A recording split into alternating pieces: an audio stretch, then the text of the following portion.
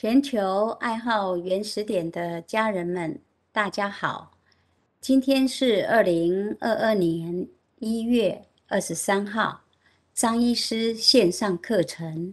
今天的主题是实作教学与答疑，然后老师会继续讲总论四。好，张医师，请您开始。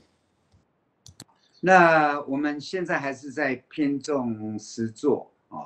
那在实作部分，手法确实蛮重要的。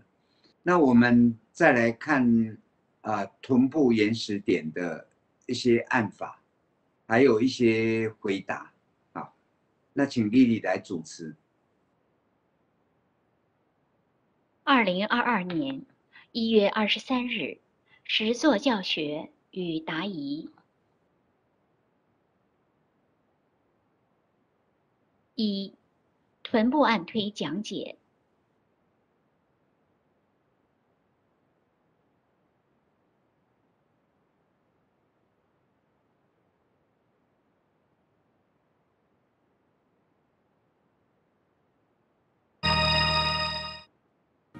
臀部延时点，它的位置，第一个要找的时候，是在胯骨上沿，拇指。微微往下，然后往内轻轻按推，要碰触到骨头，这一点就是了。找到第一点之后，如果熟练者，直接就从这一点紧贴着骨旁，一直按推下来，这样就可以了。如果初学者没有把握，也可以先把尾骨骨旁这一点找出来，两点连成一线。而这一线紧贴在骨旁，这样也是一个方法。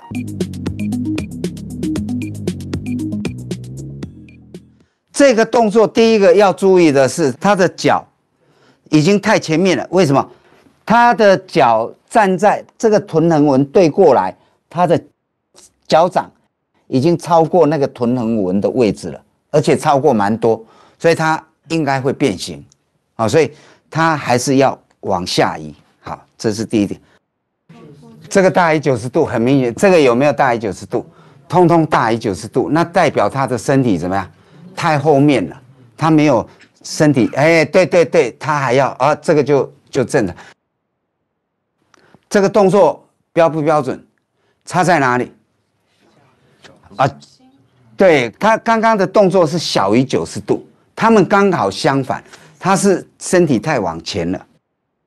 还有一个他的问题哈，事实上还没有整个靠过来，有一点轴对肩的味道，所以这样越往下，它有一个有可能越往下越离骨头偏了，它一定要靠过来才会沿着骨旁下去。好，这这个一看就知道，这个一定是做不出来。然后这个手应该要扶在这里，它也扶得太高，这是第两个问题。那还有怎么样？他那个脚站得太直了，也没有弓箭步，哎，所以他没这这里就比较平了，那这样就有了。那这个还是有一点大于九十度，所以这个就要怎么样？他还要继续往前，他往前这个蹲下来之后，他身体再往前，整个他不是只有身体，他整个全部都要往前，这样才有办法，哎，这样才有办法做出来。那他在转的时候还有一个。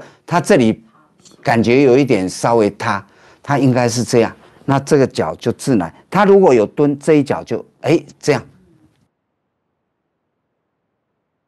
我们第一步是这样，那扶着，对吧？那我靠过去，有没有？我的手不能太高，有没有？如果我高，那我我势势必要保持九十度，我变成这个肘就会对到脸，不可能对到胸。所以我一定下去，好，那这样，第一个好，那这个呢？这个我如果我要靠过去，我的脚自然怎么样过来，但不可能悬空了。你你一悬空，你就有一点身体这里失去想把人家靠过去的味道，它还是要有着地。那重点在这一个这一个脚脚步。好，那我靠过去，那这样就可以做了。好。那他在做的时候，我我是觉得我的腰有没有塌？好，你你们再看看有没有塌？没有哈，那他就是如果这样，这样就差了。我微微的他也是他，那这个还是有问题，所以一定是这样。那凶他的是什么方式呢？变这样，这个叫做凶他。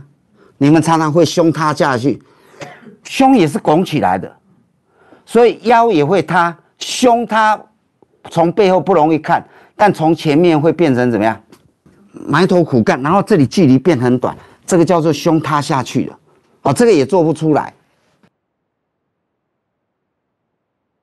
第一个这样看，第一脚就是也可能，如果站错就可能下来就变形，一定是臀横纹对着这里啊，然后这个手扶着，然后第一这个哦，第一点找出来之后，那身体呢靠弄出来之后靠过去，好，靠过去，轴对胸，那这样就可以了。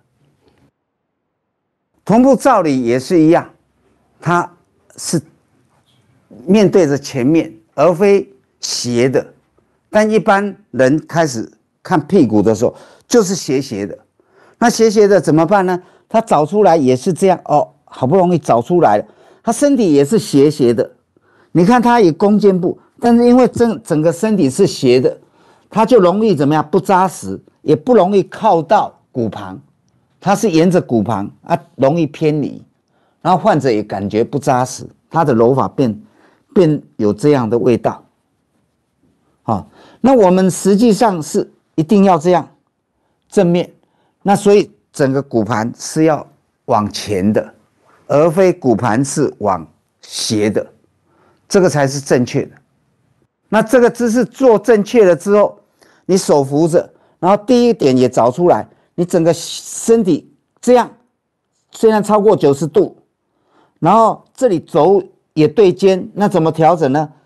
你靠过来，然后往前，身体往前，这里九十度就出来了，然后脚自然就往外撇出去，后脚，那这样重心就很稳，然后这里手很自然的就就变成这个姿势，那这样揉下来就可以沿着骨旁。根本不用看，就可以直接一直揉到最后一点。那揉下来，揉到最后一点的时候，因为它重心就低了，所以你可以蹲低一点，那手可以抬高一点，这样才可以顶得到。做错的时候，它一般就是这样直直这样揉下来，那这样容易偏离，甚至到最后一点，他也不知道这个姿势。好，这是斜的。另外还有一个没有靠过去，没有靠过去，就是这样靠过来，靠过来他才能够怎么样轴对胸。但因为没有靠，他其实是在出蛮力，也就是他用手肘的力，手的力量。那这个揉不深，也就如果要揉深层，它揉不进去。然后第二个，因为你没有靠，它不容易在骨旁，也是容易偏离。好，所以这里这个姿势一定要特别注意，就是一定要靠，然后还要怎么样？掌心放下，这里也不能这样抬得太高，它势必怎么样？九十度失去了，它势必身体就会往后，那往后变成轴又对头了，也又犯了同样的错，所以这时候怎么样？你看揉臀部，如果手拿得太高，就不用揉了。因为它轴已经对头了，所以还是要放下去，跟前面整骨讲的上背部讲的一模一样，所以都是这样。然后这时候身体才往前，那这时候轴才能对胸，然后你又靠过来，轴也对胸，那这样是标准的动作。我们现在继续来按推臀部原始点的按推方法。一样坐姿一样，他的屁股对屁股，所以都没有变，这些不需要变。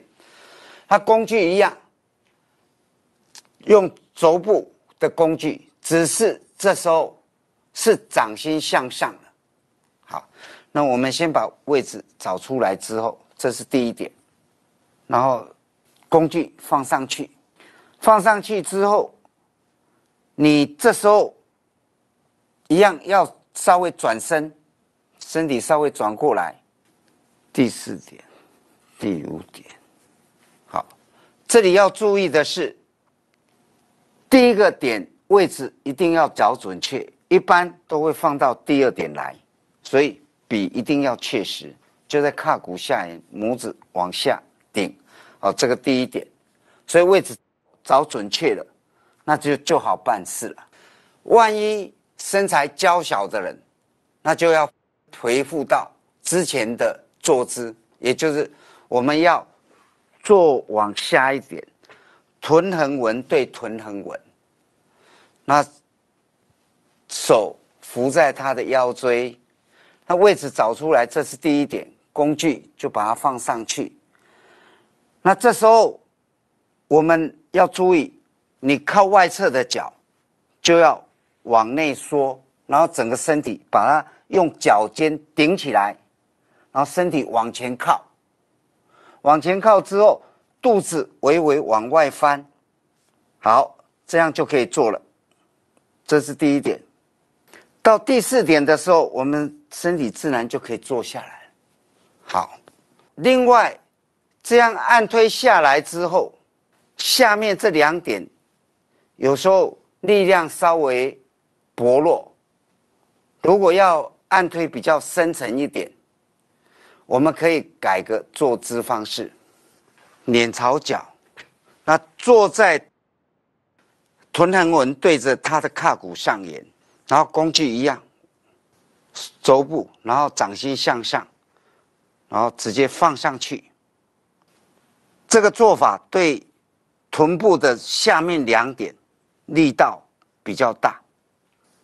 另外要补充的就是，臀部原始点，如果肉实在太多揉不进去，也可以考虑患者的脚放在另外一只脚上，那这里就高度就高起来，比较好揉，也靠近你，啊，这样揉的比较深。臀部的按推方法，掌心向上。如果矮小的要加大力量。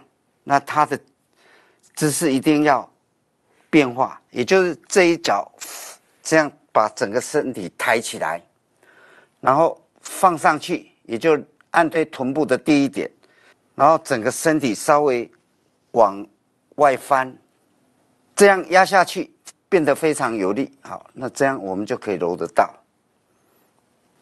好，这样按推下来之后，这是最后一点。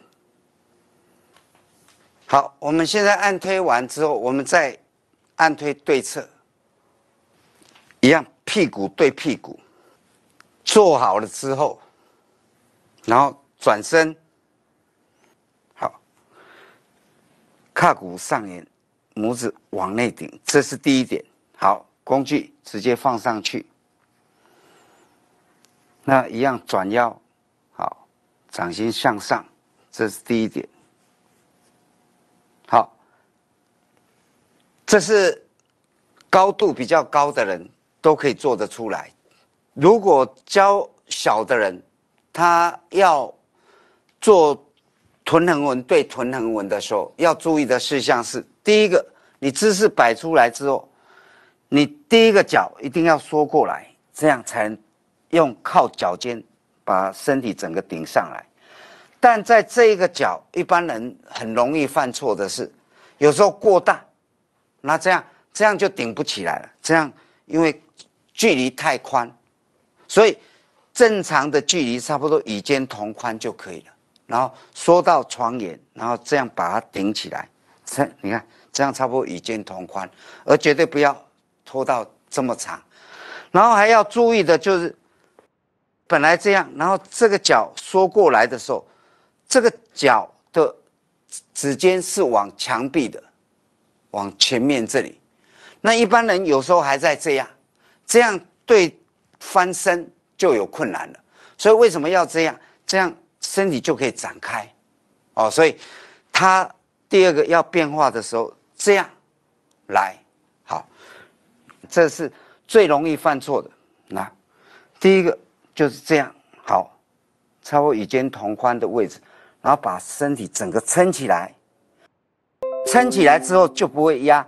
那如果你这样位置太大，你就会坐上人家的腿，或是你这样翻的不够，你也会紧接着把人家压到。所以务必一定要到这里，然后撑起来之后，这些问题都解决了。好，所以这个动作就是最关键。那这个手不能抬得太高，一定要放下去，然后这里一样要呈现九十度。好，第二点，好，到第四点就可以坐下来。请老师补充说明。好，这是以前啊、拍的哈，那那一段时间我感觉就是都在忙着写手册，那也有就是志工推荐哈、坐姿，那我也做了一些改良啊。当时候的时空背景是这样，那最近啊书写完了之后，呃，我常到基金会啊做啊一些临床啊，那临床牵扯的大部分都手法，所以也开始跟志工哈啊，就是教他们怎么按推。那这一段时间下来啊，我发现哈，呃，坐姿还是有很大的问题。其实原始点啊，你看这样一个教学有这么多的姿势啊，坐啊又站啊，啊，那两者到底啊哪一个比较优啊比比较好？我试过这一两个月下来，我还是感觉最原始的站姿是最好的姿势，也就是像这些坐姿的改良也好，或哦，按推也好，哦，都有一点用身体往下压。那当然，身体可以靠身体往下沉下来，然后把工具哦带下来，这样的力量会比较温和。那如果有压的力量，啊，患者会感觉比较不舒服。所以，也就是经过这。这一两个月下来之后，呃，我还是认为早期的站姿会是比较好。那坐姿唯一我认为勉强可以用的，就是上背部三点啦。啊，其他的我越来越看都好像哦不必要存在。那以后哦，我希望说。花一点时间，等把啊自宫的手法都调调整完毕之后，那我想再啊拍一次啊一些站姿的按推方法，然后把一些动作再简化一下，让学习的人能够快速的学到啊为准则，那。这个这几个礼拜来都是从头部、上背部，还有到臀部啊的站姿、坐姿都有演示。那另外还有四肢也是蛮重要。以前啊，可能大家也不是很在意。那我在临床啊啊在教自宫的时候，就发现像拇指的啊那个骨肉交界处。很多自工就找不到这个开关。那另外，哦，像我最近啊处理一个患者，那这个患者他的足背痛，痛到几乎睡不着觉，而右于外侧更加严重，哦，外侧足背，那你用食指又顶不进去。我按按推到快长茧了，也是按推不大进去，啊，这时候一定要变通，就是要懂得用手肘。那手肘怎么来按推踝骨？哦，类似这些变化哈，我想将来有时间啊，再一一除了啊一条脊椎啊这个按按法以外，那再把。啊四肢的按推方法，啊，再看看能不能再详细的讲解。那对于这一这几天的手法，我就补充到这里。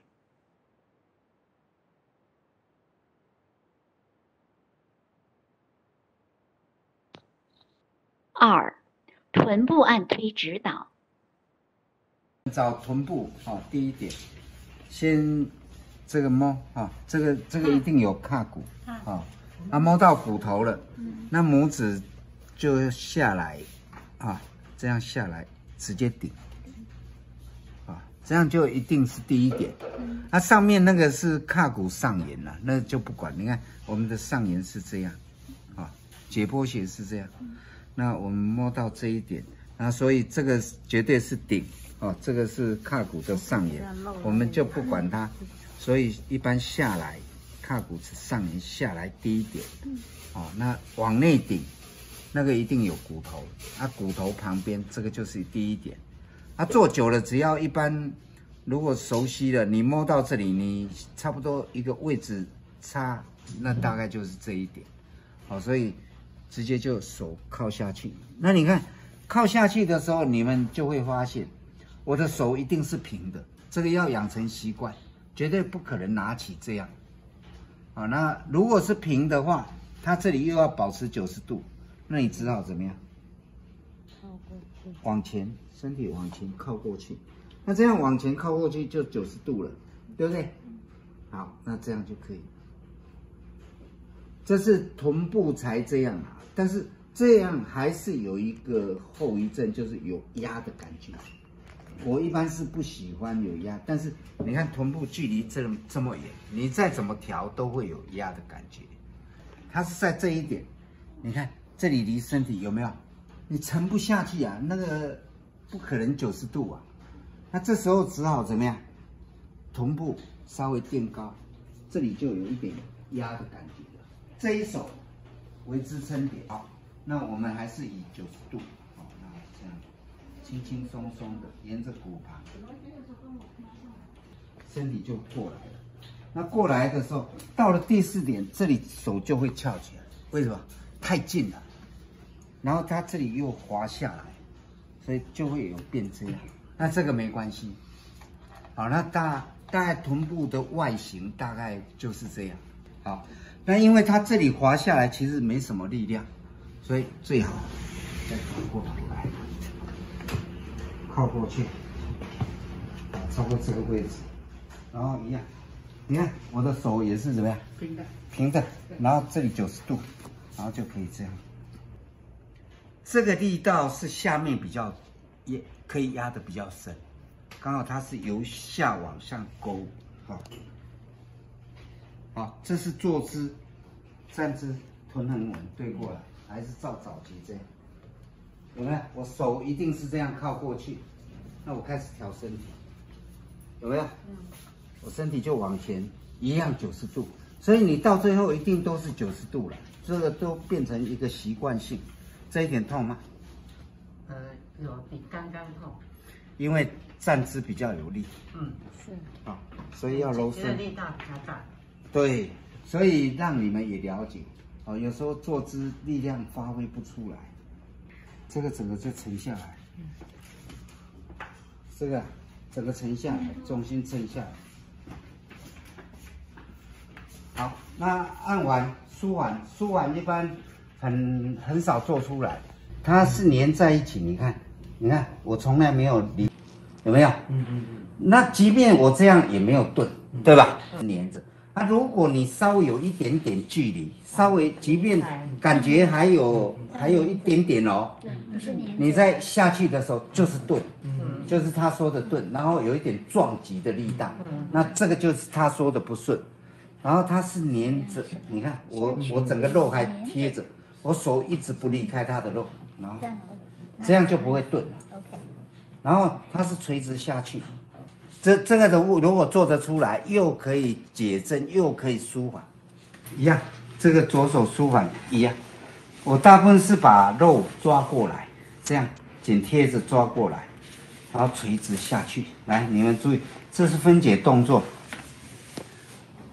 这样分解动作，好分解动作，分解动作，我粘着哦，粘着才蹲下去的，完全没有离开，这样抓过来，这样，对我这一手当支撑力啦，啊，让整个身体也下去，所以我的身体跟这里其实，如果再再你们再看紧仔细一点，我把它拉过来的时候，你看我的脚，然后跟身体，你们再注意我的脚跟身体。跟着动吗？有没有？我有没有在动？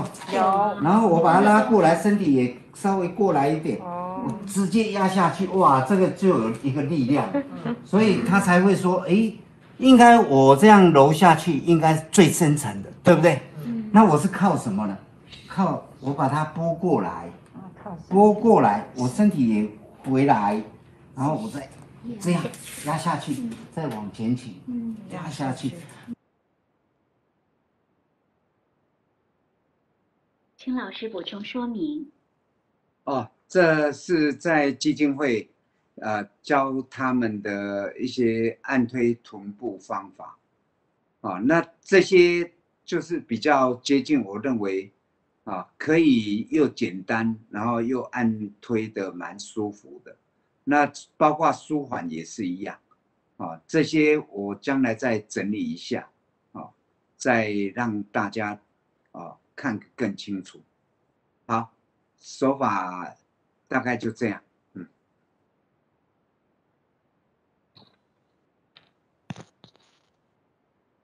三，乳头痛。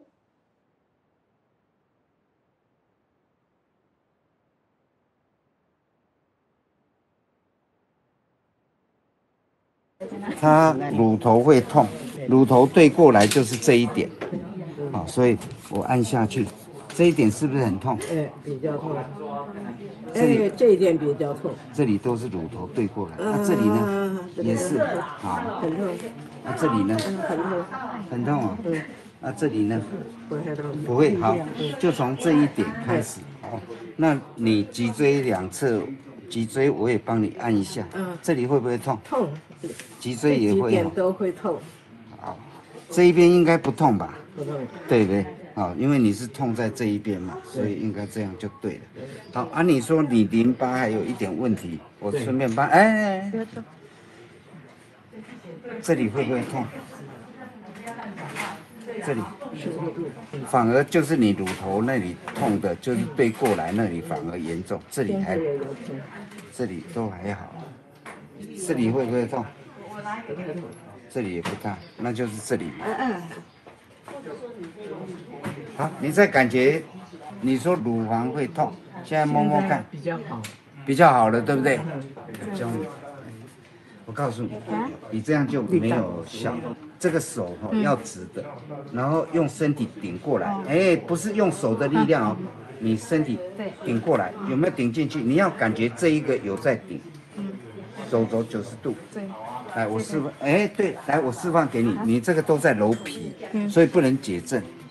你看哈、我离开，这里要九十度，你站太近，所以你卡死了，你不能揉。哦，这样，好，然后这个工具，然后你看看哦，我往前点，我往前这样就有力，然后就开始按。你没有顶，你就这样，然后揉皮，就是手不用力，啊，只只有身体顶，你身体要靠过去，哎，对对对，就好像顶东西，那、你是整个放这样，我不是，我是这样翘起来，有没有？啊，我这样，我蹲低一点，蹲低一点，然后我顶它，我顶它，这样会不会？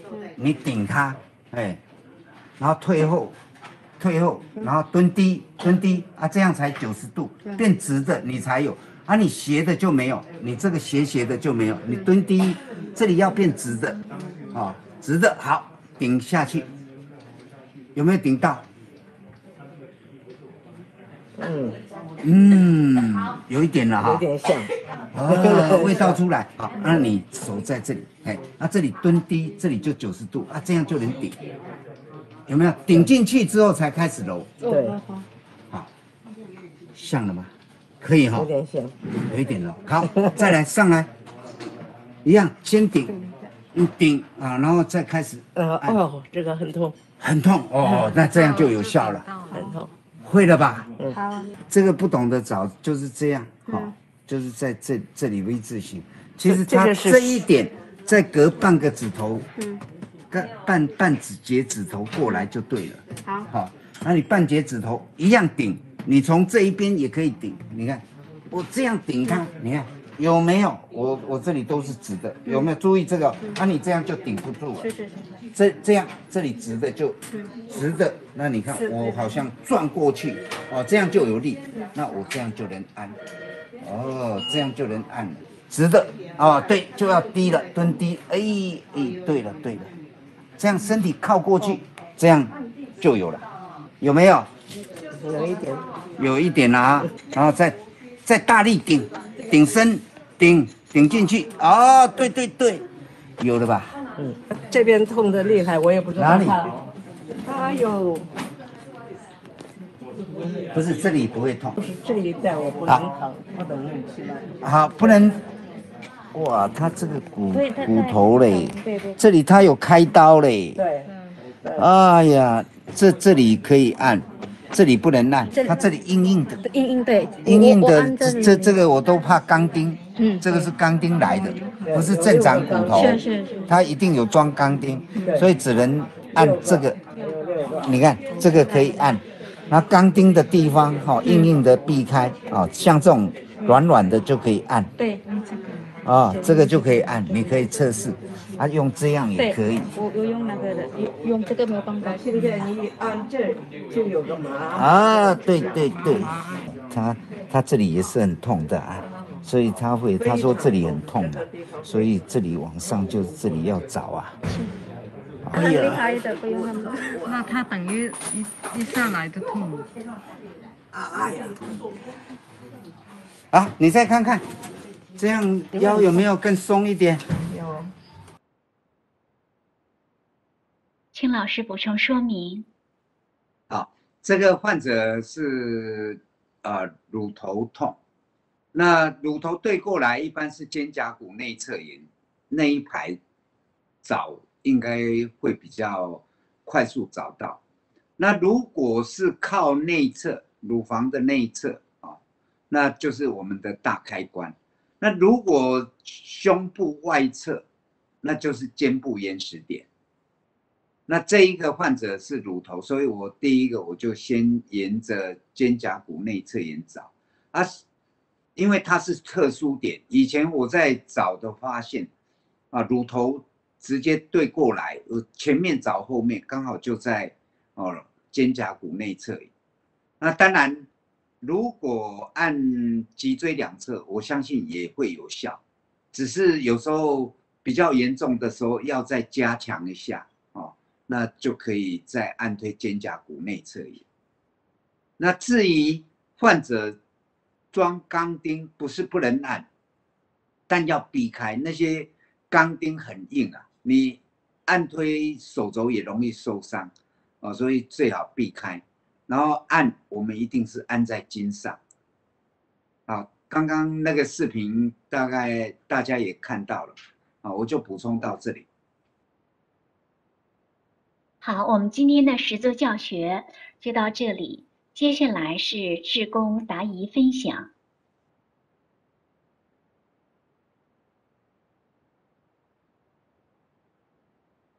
志工答疑分享。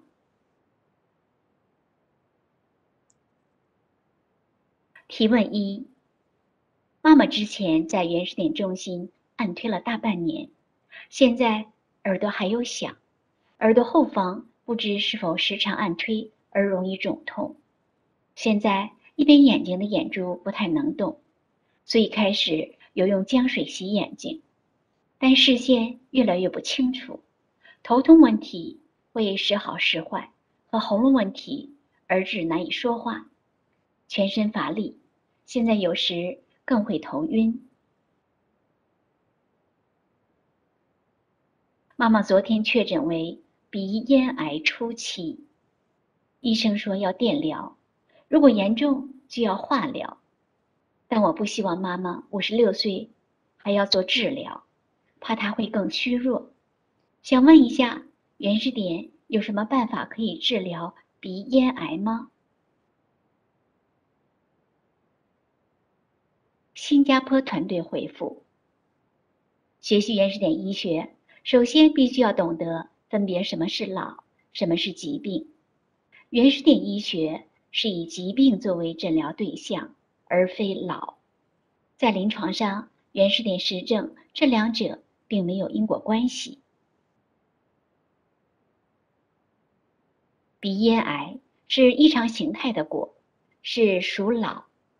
也不是导致症状的原因，所以鼻咽癌并非诊疗对象，真正要处理的是您提到的各种症状。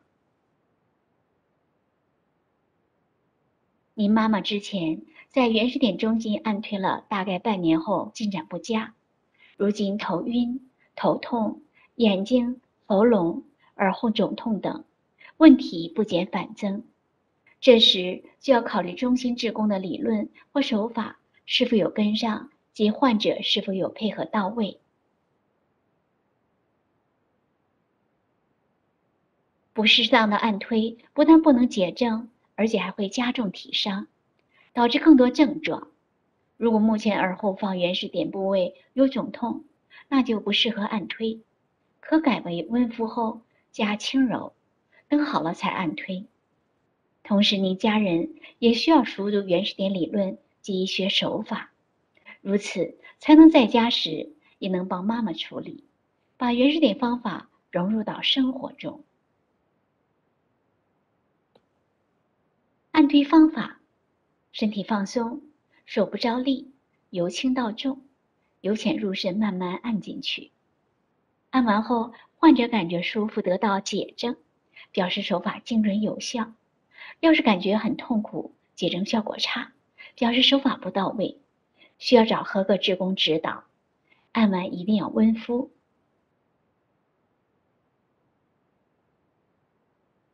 您提到母亲目前全身乏力，这情况属重病，重病处理应以补充热源为主，按推及其他保健方法为辅。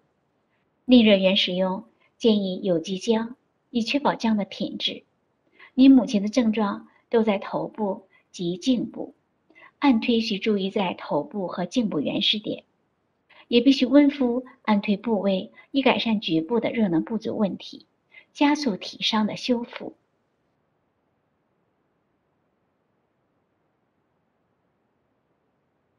眼珠不太能动，若按推他处无效，可在周边找出痛点，揉开加温敷。除了姜水洗眼睛，也可以尝试姜粉喷鼻，增加热源辅助。可参考手册里的姜汤洗眼及姜粉喷鼻腔步骤，请参考重病处理篇了解细节。只要依序重病处理方法去做及提升手法，必可改善您母亲目前状况，并且康复。请老师补充说明。啊，这个新加坡回答非常好，啊，都有提到重点的，所以我我没有好补充的啊，就以这样的回答当标准答案。哎，感谢，呃，这个志工的回答，嗯，就这样。提问二：胃食道逆流。所引起之打嗝不止，请问张医师，上述情况如何处理才可缓解？按推何处及保养？新加坡团队回复二：您的症状是胃食道逆流所引起之打嗝不止，这是属正的不适感，多属他处体伤所致，可在上背部按推。找原始痛点，按推到位，可立即得到缓解。可参考手法视频，原始点 APP 安卓版链接。背部原始痛点改善后，也能同时改善胃食道逆流的问题。按推完原始痛点后，加以外热源温之，能帮助身体更有效的修复体伤。保健方法包括平时可做些上背部的运动，平日的饮食，暂时避开寒凉食物。请看《原始点医书》里医疗与保健篇如何分辨什么是寒凉食物。请老师补充说明。嗯，应该这样回答很好了啊，因为食道逆流是西医的讲法，那食道逆流本身也是一个现象，现象绝对不是因呐啊，所以真正的因还是要找啊相对应的原始痛点，从背部下手，才能真正得到改善。所以新加坡这样回答啊，已经。非常好了，好，就这样。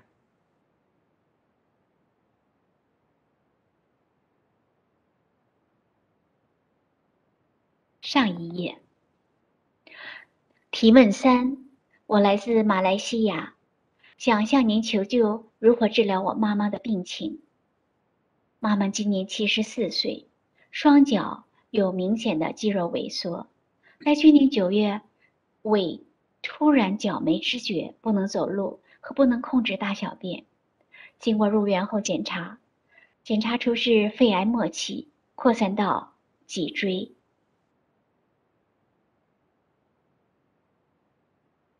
脊椎移位压到神经，脊椎移位压到神经线，导致下半身瘫痪，不能控制大小便。小便需用导尿管排尿。移动时，两边肋骨会痛如刀割；坐起来会肋骨及周围和脚有痛和灼热感。目前只能躺床上，因为久躺也有褥疮，翻身侧躺久了也会呼吸不顺畅。吃喝会胀风，影响到胃口。经中医调理和戒口后。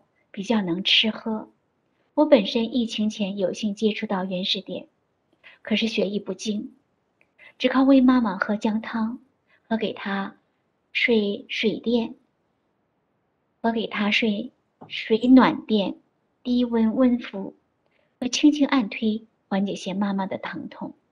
妈妈怕辣也怕热，身体会时热时冷。热时有时会整个背部都痒。姜汤一开始五克干姜片，用三杯水煮成一杯给妈妈喝，到现在是三十克干姜片，用六杯水煮成两杯，再煮第二次用三杯水煮成一杯。麻烦的是妈妈的褥疮，之前住医院和疗养院都一直恶化。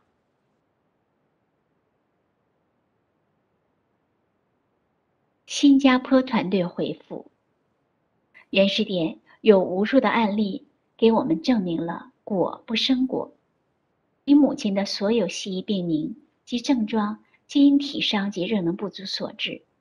从文字中可以看出，你对原始点的了解并不太多。建议您多上网学习原始点理论及手法，也可以到推广点求助学习。有了知识处理起来。才能信心十足。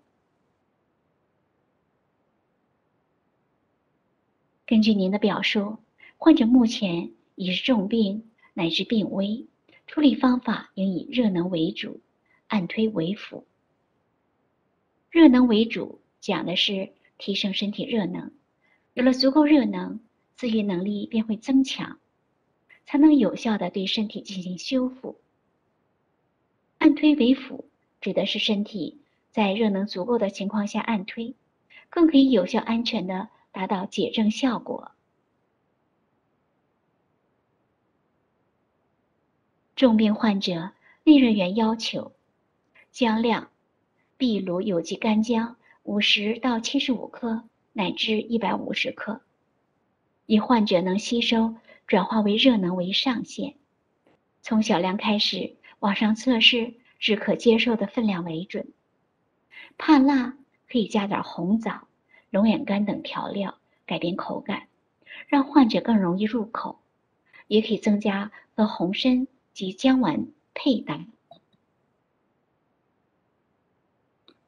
外热源种类多，请参考手册，最好全天温敷，以患者能承承受温暖舒服为宜。患者怕热是假象，是真寒假热，是体上没有揉开所致。体上揉开后，继续温敷会缓解。久躺气血不流通是恶源，体伤会因此加重，导致症状果的产生，如背部皮肤痒、褥疮等症状。褥疮可用姜汤清洗，用红外线灯温敷，伤口保持通透、干爽为宜。尽量让患者多走动，久躺不动是阻碍身体修复的最大恶源。按推方法：身体放松，手不着力，由轻到重，由浅入深，慢慢按进去。按完后，患者感觉舒服到得到解症，表示手法精准有效；要是感觉很痛苦，解症效果差，表示手法不到位。需要找合格职工指导，按完一定要温敷。按对头部原始痛点，对他的双脚肌肉萎缩、突然脚没知觉、不能走路和不能控制大小便或许有帮助，同时能帮助改善睡眠及头部其他不适症状。久躺不动也会引起肌肉萎缩。肺部痛、肋骨痛、呼吸不顺畅、吃喝胀风、背部痒等，可以按推上背部原始痛点解症。症状若若无立即改善，可在患处处理。可以先热敷患处，再用姜泥按推。另外，周边若有痛点，需要揉开。灌肠可让热能直达腹部周围的组织器官，可加速体伤的修复。按推腿部原始痛点，可以改善脚痛和灼热感。七十四岁严重弯曲的脊椎属老化异常，它既非疾病之因，也不是疾病本身，所以无需担心而追求治疗。心态让患者保持良好心情，积极配合身体调理，对修复尤其重要。自认学艺不精，建议可以积极多看原始点视频，把理论和手法学习到位。也可以求助公益点指导，请老师补充说明。啊，这新加坡回答的条理分明啊，而且啊都把重点讲到了，哦，非常的好啊，这这一次回答的很。啊，水准蛮高的，很好。哎呀，我们没有什么好补充的。好。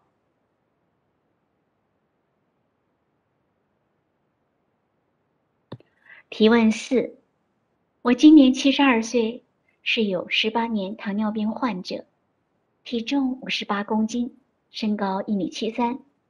于去年七月有缘接触原始点，经不断观看视频及电子书。乃兴起自己来实践求证的念头，源于去年八月一日开始每天做一条脊椎及七处原始点，即喝姜汤、观看视频一小时、读手册。两阶一步中爬楼梯三十分，确实做到适当运动、充分休息、良好心态，按推原始点补充热源，且停掉药物。到现在，血糖值约一百四十左右，以前一百七十左右，精神体力也不错。让我百思不得其解的是，体重从六十五公斤一直掉到五十八公斤，足足瘦了七公斤，而且还持续下降。请教到底是何原因？新加坡团队回复。您所提的不正常血糖、体重，都是仪器检查出来的异常指数。人经历生老病死，若有病症，您已，你也已经知道怎样用原始点处理；若无病症，可同样用原始点方法预防疾病。再来就是身体随着衰老的过程，因为体伤和热能不足，都可能出现一些异常形态或指数。您开始落实原始点，改善了生活作息。和体质，身体也会自动调理这些指数，比如体重、血糖。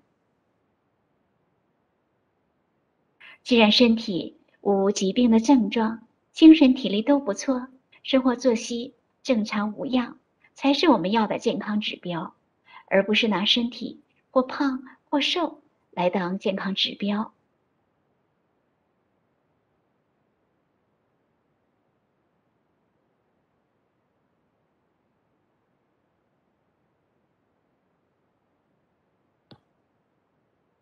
下一页。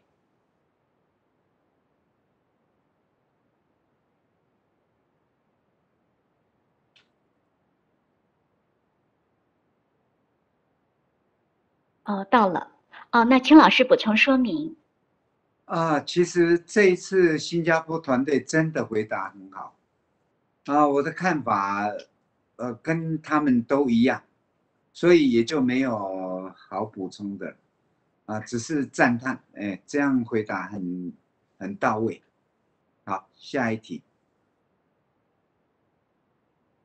提问五：发生意外肩膀和手肘骨折，已动手术放钢片和螺丝，目前已九个星期，手肘伤处还肿痛。物理治疗师要我又来又去做复健，做后更痛。请问可用原始点推拿或温敷吗？新加坡团队回复：若懂得善用原始点方法，在手术后的康复上能有效促成。若懂得善用原始点方法，在手术后的康复上能有速效成果，按推和温敷都没问题，症与状没有因果关系。您的伤处肿痛是体伤造成，不是患处本身。按推相对应原始痛点，可以解除疼痛。若痛点没有改善，可在患处周边按推找痛点，再以外热源温之。因变果转，体伤在热能充足的情况下修复后，症状自然消失无踪。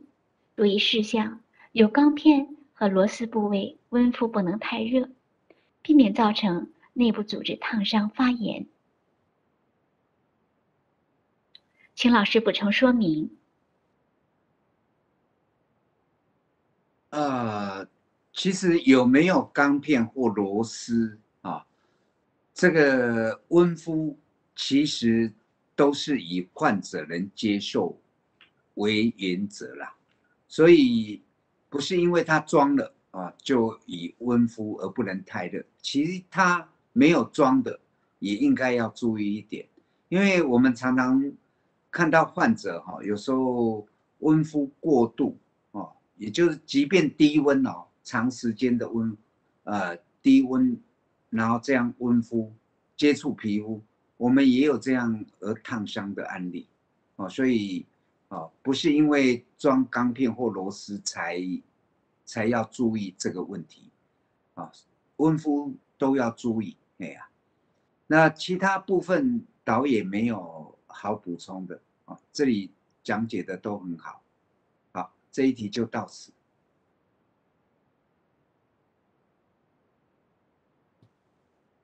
提问六：我发病时虽然表现在心脏。但我的心脏本身其实并没有问题，我真的问题在于腹部有慢性病，长期以来对食物的消化吸收非常差，而人体的热量主要来自于食物，当食物的热量无法全部被身体吸收时，身体的体力就会逐渐下降。我用自制的工具按推背部原始点，以及让家人按推背部原始点，也证明了这一点。我的上背部并没有特别明显的原始痛点，而下背部的原始痛点非常多，而且非常顽固，老也按不好。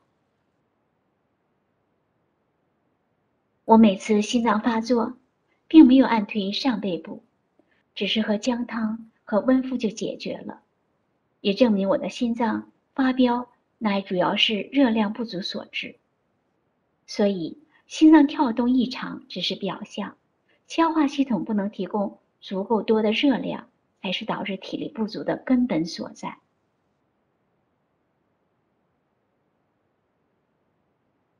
若仅仅以解除症状为目标，我现在基本上已经没有什么危险的症状，但这是借助于每天五十到六十克干姜片的强大外来热量的推动下所维持的一种临时效果。对于重病患者，如果是靠着强大外力的作用而症状临时消失，那并不是真正意义上的康复。如果体力得不到真正的恢复，那才是不可掉以轻心的。只要把姜停掉，恐怕很快就会复发。我的身高，以前健康时体重一百二十斤左右。是比较匀称的，但现在体重才一百斤，太瘦弱。因此，我的调理目标并不仅仅是临时解除症状，而是需要从根本上解决腹部慢性疾病，使得食物能够充分被吸收，体重恢复到原来健康时的一百二十斤左右，真正彻底摆脱对姜的依赖。我才四十六岁，如果有专业精准的手法帮忙解决体伤，我一定会积极配合。我二零一一年就接触原始点了，从此以后再也没有做过任何医学检查，因为张医师爱妻的悲惨经历，在我的已故爱妻身上也完全痛苦的演绎了一遍。我爱妻。二零零五年撒手人寰。所以，当我一遇到张医师的原始点，被张医师的经历、高境界以及我自己的经历百感交集，泪如雨下，我当机立断，与现代医学彻底离婚，再也不做任何医学检查了。当然，紧急外伤还是会向西医求助的。找不到可靠的原始点推广处，特别是看了张医师的直播课程，担心如果遇到手法不好、发心又不太纯正、夹杂很重私利的推广点，只会导致病情恶化。新加坡团队回复文中，您提到发病时表现在心脏上背部。肯定有体伤，上背没有明显痛点，有两个可能：一是按推不到位，二是患处体伤。可以在前胸患处周边找痛点。之前您喝姜汤能暂时缓解您的并发症，但体伤如果还在，以后因缘具足了，还是会发生的。最好的方法是把体伤修复。因变果转，这才是明智之举。您一直有喝姜汤，五十到六十克干姜，内热源非常足够，但是症状依然存在，说明了问题不在内热源，问题应该出现在手法。因此，建议您从官方网站寻求基金会认同的推广点，寻求帮助。除了增强热源以外，也需要注重其他方面的保健方法，比如适当运动、良好心态、充分休息，以改善体质。正如您所说的，不能一直只靠外来的热源维持。腹部一直没好，问题一定在原始痛点按推及温敷不到位。如果是患处，就得从周边找痛点，按推辅助解症。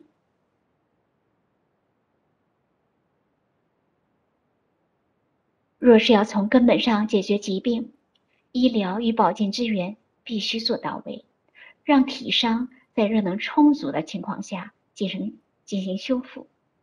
另外，您提到体重的问题，也不需要在意追求标准体重，只要体力好，没有体伤，没有病痛，才是真正健康的标准。请老师补充说明。这里啊、我有一些看法跟新加坡团队有一点不一样。譬如，如果说呃我们看上一页啊，上一页这里的上一页啊，呃，他说腹部嗯一直没有好哈，那按推呃呃问题一定在原始点按推及温敷不到位。如果是患处，就得从周边找痛点按推辅助解症。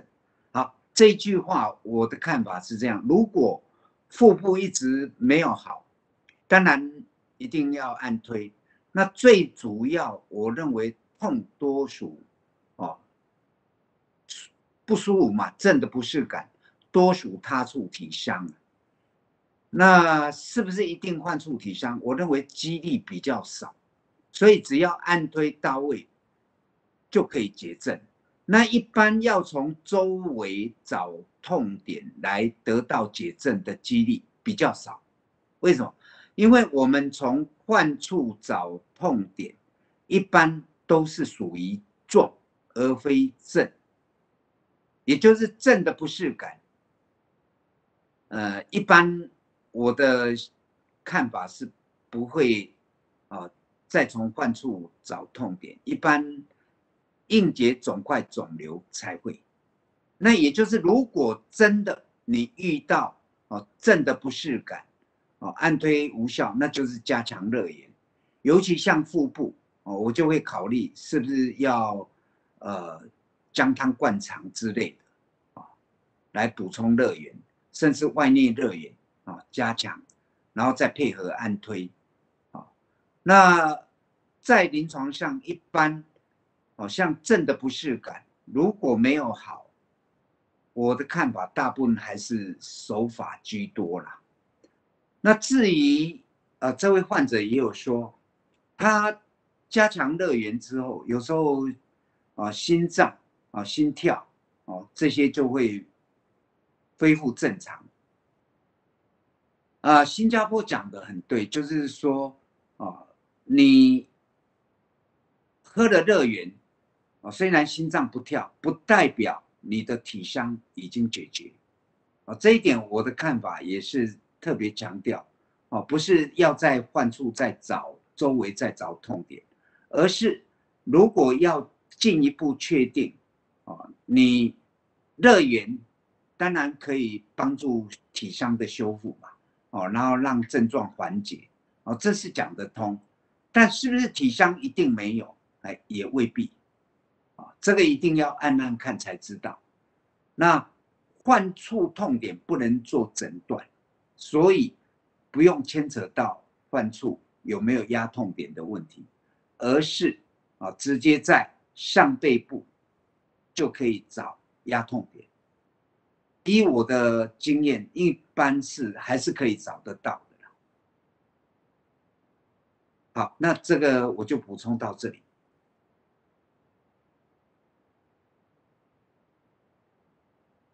肾病患者分享。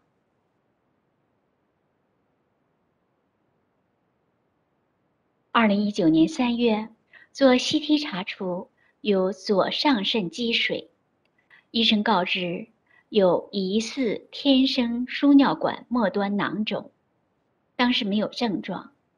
今年三月，偶尔疼痛，到九月中就开始疼痛更频繁，大致每天都有。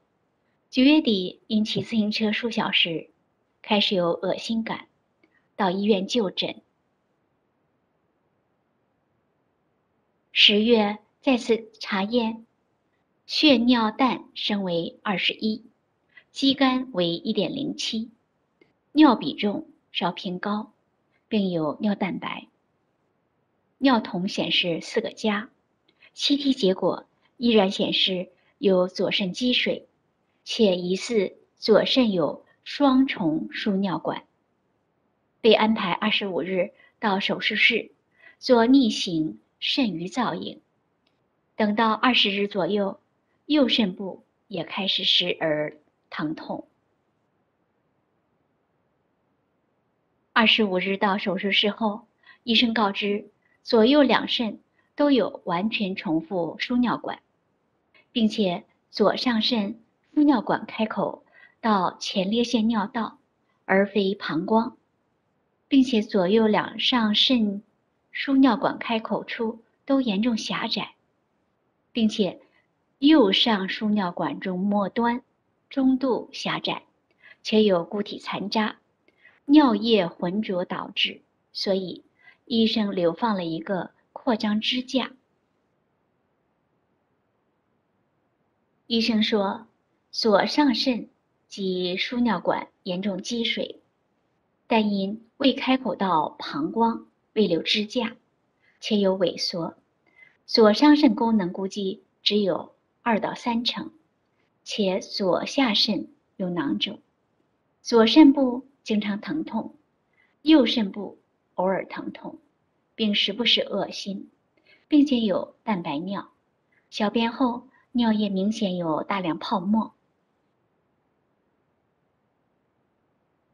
十一月四日。开始用原始点调理：一、全身按推原始痛点；二、职工嘱咐我要加强锻炼；三、二十四小时温敷和饮用姜汤。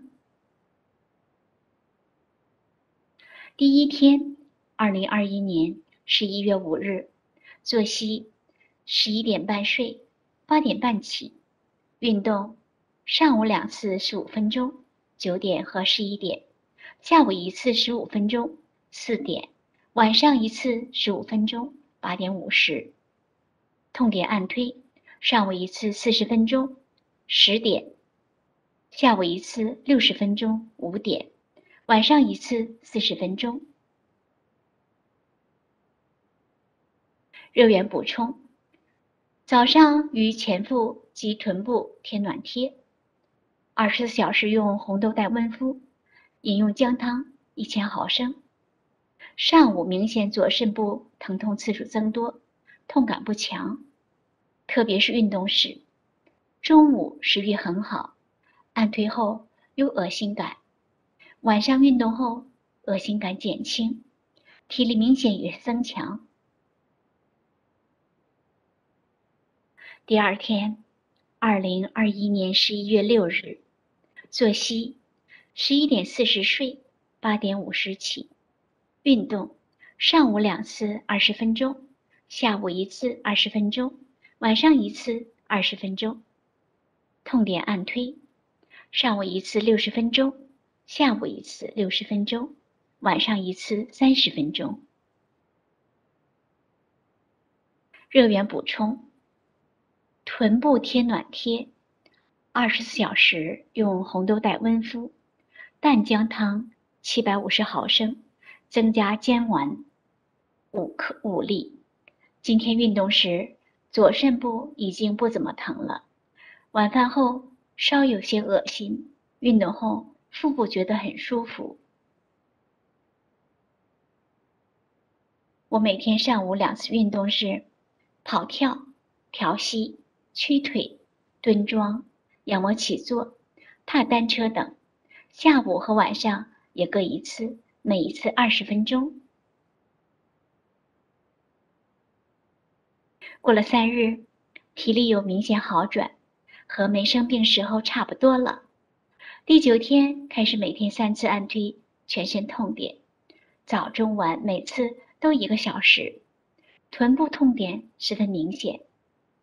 二十四小时温敷，七百五十毫升水煮五十克姜片，还没有涂姜泥。连续三天下来，觉得左肾部疼痛次数有所减少。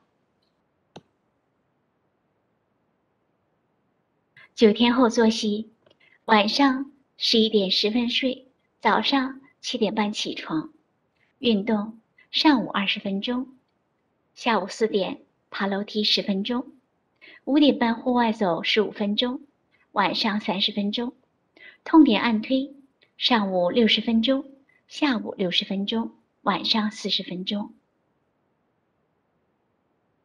热源补充：上午姜粉泥涂抹臀部，二十四小时温敷，服用姜汤及姜丸。二零二一年十一月十五日，上午爬楼梯二十分钟，下午二十分，晚上二十分钟。痛点按推，上午一次五十分钟，下午一次六十分钟，晚上一次三十分钟。热能补充，上午姜泥涂抹臀部，持续温敷，早中饭后使用姜丸。感受：早上爬完楼后，觉得左身疼痛；下午及晚上没有爬楼。今天左右两肾部疼痛时间增多，特别右肾部晚饭前后一直痛，今日不觉得恶心。我每天都在群组详实记录体力状况，如做什么运动，做多久会累。自己怎么按推、运动、温敷、涂姜泥等前后的改善和恶化状况都有详细写下来或录视频。体力与腹痛是否有好转？涂姜泥、温敷、运动与改善饮食是否做到位？有经验的职工都耐心指导，随时指点，对我帮助很大。职工特别嘱咐。不可代谢，要持之以恒。许多患者最终都是松懈了，以为自己好了而功败垂成。实行四十七天原始点治疗后，今日回诊，医师说左肾功能从二三成进步到有百分之九十七的功能。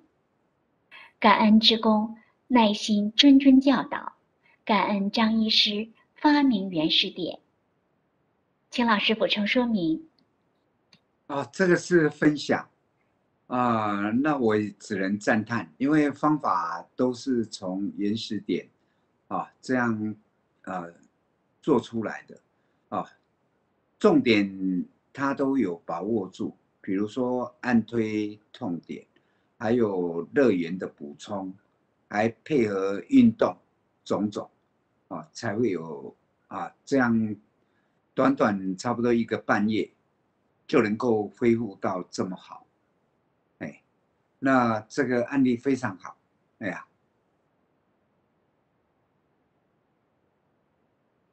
好，那这个就这个问题就到此，哎呀，好，老师，我们今天的呃问题答疑就到这里。接下来进入我们的主题总论四。好，是。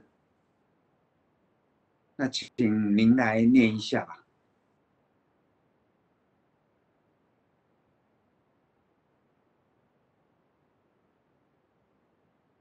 总论四：原始点医学目的、宗旨与定位。中医通过观察症状，以经络理论。及四诊心法来决定一针二灸三用药的治疗原则，但其诊疗方法若不进行全面的简化及改良，一旦面临一旦面对危急重病患者，难免左支右绌，后果堪虞。西医以仪器检查结果作为主要诊疗对象。在理论上，犯了倒果为因及老病不分的过失。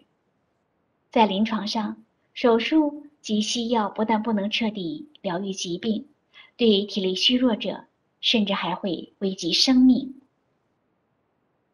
在此情形下，唯有追本溯源，才能找到解决方法。原始点医学是从零开始，点点滴滴在患者身上摸索出来的。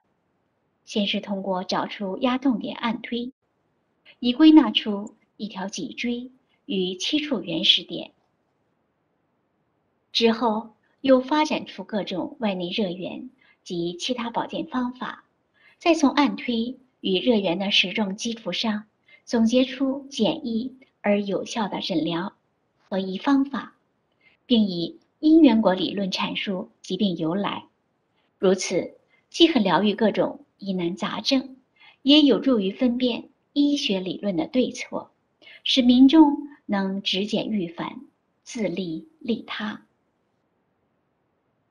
期间，因针对失败个案。深入分析，所以才能突破医学瓶颈。不仅明了外内热源之姜粉、姜粉泥或姜汤可直接用于体上位置，也明了按推原始痛点无立即之效，可按推患处痛点。如此才能改善特定部位的体伤及热能不足，从而达到原始点医学的目的，即有病。可速愈疾病，使患者转危为安；无病可抗老增寿，预防疾病。显而易见，这种由民众掌握生命自主权的非药物、非侵入性的生活化医学，才是解决生老病死问题的最好方法。好，这是总论哈，医学。原始点医学的目的啊，那还有宗旨与定位。那这一段谈的是目的。那原始点医学的目的，其实所有医学都是一样，就是要解决症状。那症状在原始点的研发过程中，当然知道是由体香及热能不足所致，而体香及热能不足。也会导致人体的衰老，这是原始点啊。从长期从实证，还有从症状的观察，慢慢哦厘清出来的。好，那么我们来谈，呃，为什么原始点医学哦，它最后的发展哦会。走出一条跟中医跟西医不一样的道路来，啊，其实这也是我，呃，认为在个人的经验上，就是本来我是中医的，那经由我太太啊得乳癌之后，给西医治疗，最后西医也出了问题，那找中医的哈名家啊，还有。哦，他们推荐的一些中药，哦，也无法解决，哦，最后才慢慢了解，好像现有的医学，不管是西医也好，或中医也好，哦，都有一些问题存在，也就是有盲点了。那我们这里首先来谈中医，那中医跟原始点是比较相近。就是都是通过观察症状，也就是在诊断上，第一个是观察症状，但中医我说了啊，之前有说他在外治法与内治法的诊疗体系是不一样的啊，外治法它是以经络理论作为诊诊断依据，那。内治法呢，也就是用中药，只要通过四诊心法来辨体质，啊，那最后才决定，啊，是针针灸在哪个穴位，啊，然后用药到底是哦，在中医看法，因为体质还有寒热啊，到底要用温药啊，还是凉药？哦，就会有这些的诊疗方法出现。好，我们看下一页。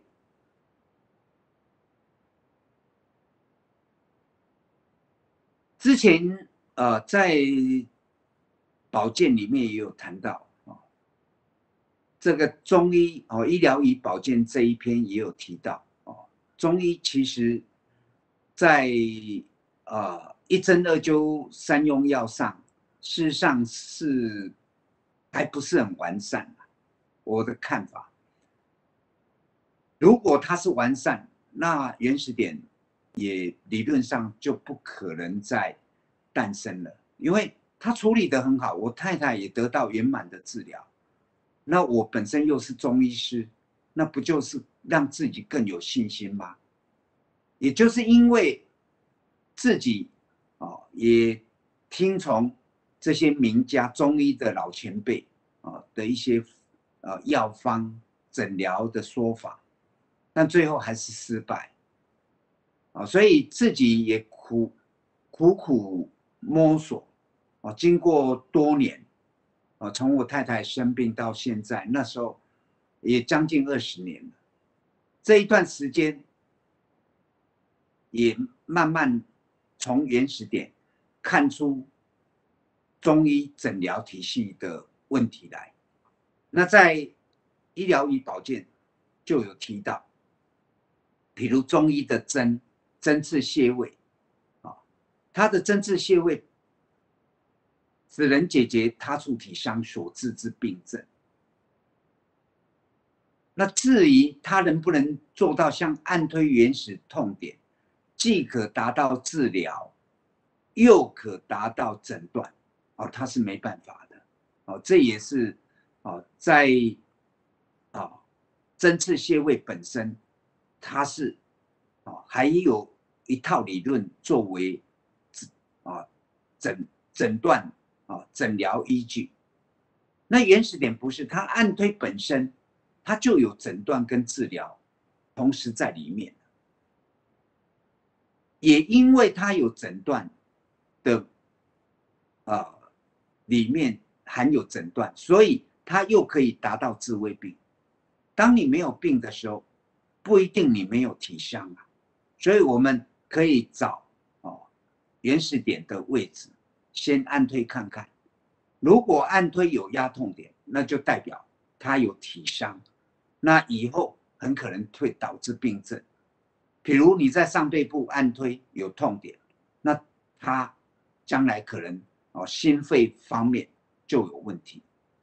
同样，你虽然他现在好好的，但你头部一按，头部原始都有很大的痛点，那你就要注意了，他以后会不会脑中风啊、老人痴呆啊，类似这样的病？所以他本身在按推，又比中医进一步突破了，只能治已病，他进一步还能治未病，然后他在按推。已经完全结合，哦，诊断在里面，那也就不需要再有背后一套理论体系，也就是啊这些经络理论体系，事实上是在原始点的看法是多余的，而且原始点它把它简化成啊，把十四条经络、三四百个穴位简化成一条脊椎及七处原始点。啊，这样外治法就能够完全解决了。那至于内治法，它本来你在治疗外治法，首先一定要有一个呃最重要的诊断依据，就是你要先分这个疾病到底是轻还是重。那分出来之后，如果是重病，那原始点进一步就知道，一定要以热源为主。按推为辅，啊，那如果是轻重症，就可以啊，以按推为主，热炎为辅，所以很快就可以有一个治疗方案，也就看通过观察症状，就可以知道他应该怎么来利用哦，按推或外内热饮，也就是从原始点来看，中医的治疗体系，治疗它是一针二灸三用药嘛，那与原始点就可以很明白啊，这个是要先内治法啊，或外治法，那内外治法到底是要以灸或热研为主，还是要以针刺穴位为主？从原始点来看中医，一样可以看得出来。所以，它的诊疗体系只有一种，也就是通过观察症状来分辨疾病之轻重及体相位置，就可以决定啊治疗原则，也就是一针二灸三用药。那在原始点就是安推以热源的治疗原则。这样完全简化了啊！那在面临危急重病的时候，立刻就有一个方案提出来，那只要做到位啊，常常能够把这些危急重病患者啊，让他们转危为安。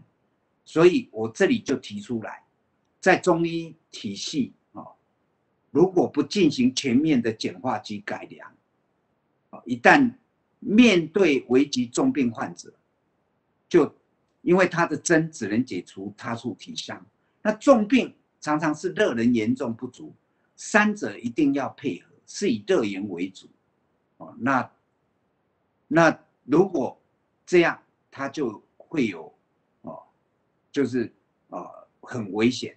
那如果又太强调中药，但又不能立刻解症。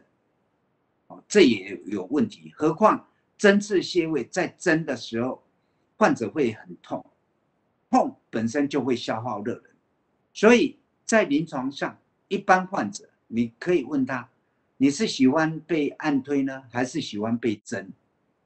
以我的经验，一般都是喜欢被按推，没有人喜欢别人拿个针来刺你的身体，不大可能。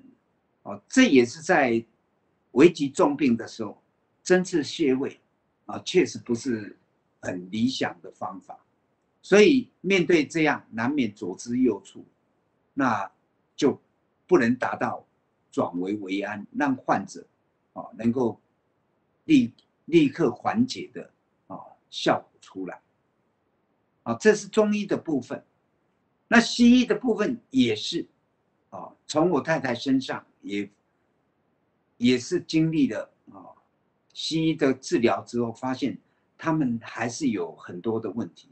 那经过这么多年来啊，前面也说过了，他们常常是道果为因呐，还有老病不分。在理论上，因为他们以仪器检查出来的，仪器检查出来全部都是果啊，怎么会有因呢？那但是西医啊，你有症状。他帮你检查出异常形态来，比如说癌肿瘤也好，或关节变形也好，哦，他们就说，哎，这是由肿瘤引起或关节变形压迫所致，啊，来当做你这些症状的因。但问题这些检查出来，肿瘤也好，关节变形也好，都是果，怎么会是因？所以他们又犯了这个问题，倒果为因，哦，导致诊疗。常常是跟事实真相是不符的啊！常常，比如说你身体有病，但检查却说你正常；那身体无病，检查却很多异常。那这些异常怎么能当做疾病之因呢？那如果你没有疾病，他检查出来的，把这些异常又当做哦是疾病本身，那就是老病不分了。哦，因为他你没有症状，就是没有病嘛，哦，那检查出来的这些只是参考的现象，怎么能当成病呢？哦，这都是在西医理论上犯的过错。那在临床上，更显而易见的就是，手术、西药都不能彻底疗愈疾病。真正要彻底疗愈疾病，是要改善体质的。中医强调改善体质。那原始点是强调改善体香及热能不足，这样就可以了。但西医不这么想，而且又从果治病，从果治病就是从患处下手哦，所以才会动用手术，然后也会哦用寒凉药，它不是要改善热能不足，哦，所以他有时候西药在控制症状或控制异常指数哦，比如高血压、糖尿病，但长期吃下来，身体反而虚了，那手术又会破坏身体。甚至会危严重会危及生命，啊，这些都是啊西医面临的诊疗问题。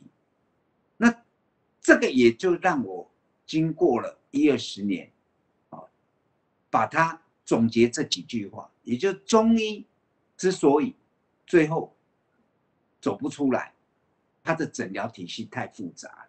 那西医好像看似很科学。但是他却用科学的仪器来做出错误的诊断，也就是他把这些现象当作疾病之因，这个也犯了很大的问题，而且发展到最后是从国治病，不是改善体质，啊，背离了啊中医跟原始点啊这种最基本的以人为本、改善体质那种理念是不相符的。好，那这些都是中西医的问题，也就是原始点，它诞生的背景，就是因为中西医在解决疾病上，很多让人失望，哦，所以原始点，哦，才会决定走自己的一条路。那原始点也认为，要走出一条路，你一定要从患者的身上去找答案。才能够真正得到啊我们要的解决方案出来。好，我们来看下一下一段，下一页啊。所以在此情形下哈，唯有追本溯源，才能找到解决方法。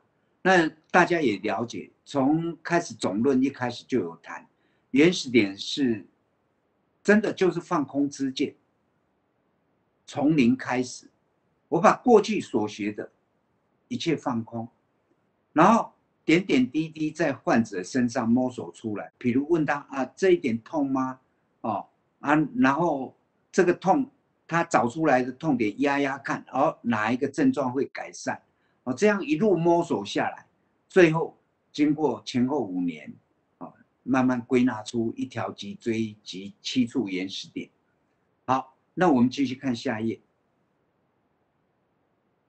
啊，之后当然，呃，又发展到让外内热源更加完善啊，比如姜姜汤、姜粉、姜粉泥的应用，哦，这个啊发挥了很大功效。还有其他保健方法，比如归纳出运动、充分休息、良好心态啊，这些都都是。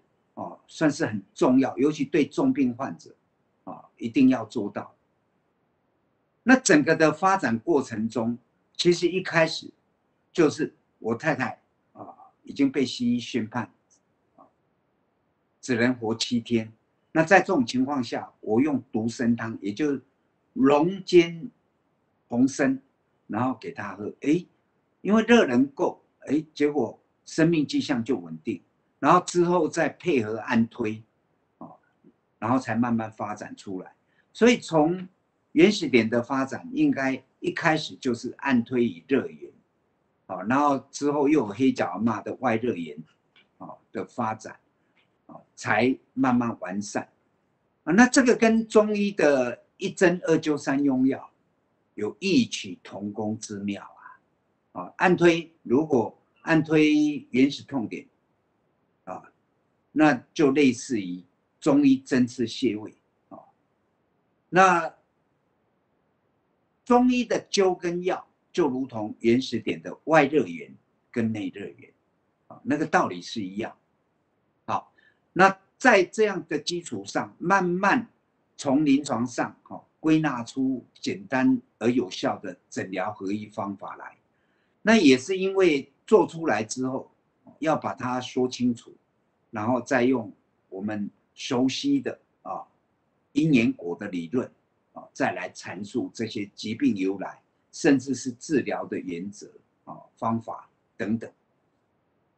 啊，这样有了理论依据，又有实作哦的结合，这样既可以疗愈各种哦疑难杂症，那也有帮助于我们厘清医学的真相，也就到底中医有出了什么问题，西医又出了什么问题，让民众能够看得更清楚，而且原始点又简单，它能够只简易繁，不只可以帮助自己。